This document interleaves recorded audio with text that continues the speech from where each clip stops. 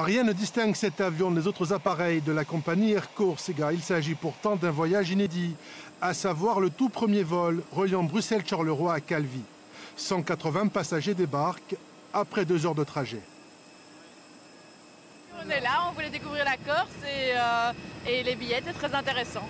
L'avion plutôt que le bateau, c'est aussi bien intéressant pour vous? Ah, Moi je suis pas très bateau, donc euh, je, préfère, euh, je préfère nettement prendre un vol. On va aller vers Ville di Parasso et on compte y aller à Calenzana, ces côtés-là, parce que c'est tellement typique aussi. Après Bastia et Ajaccio, c'est au tour de Calvi d'être relié à la Belgique.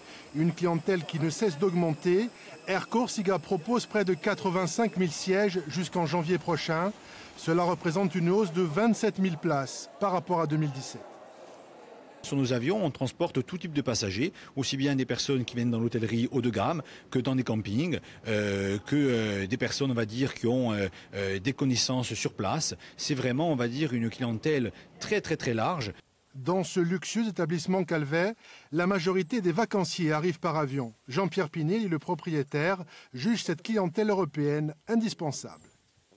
Elle est importante pour l'hôtel, mais elle est importante à la fois pour la région, la micro-région, pour la Corse, et puis pour le tourisme, parce que si vous voulez, euh, la Corse, une île, bien sûr, tout le monde le sait, l'aérien doit se développer, doit se développer à vitesse grand V. Donc pour nous, c'est un poumon essentiel. Un temps menacé pour des raisons de dangerosité et de fréquentation faible hors saison, l'aéroport de Calvi diversifie son offre. L'an passé, 330 000 passagers ont transité par Santa Gadaline, un aéroport qui offrira l'an prochain de nouvelles destinations européennes, dont Londres.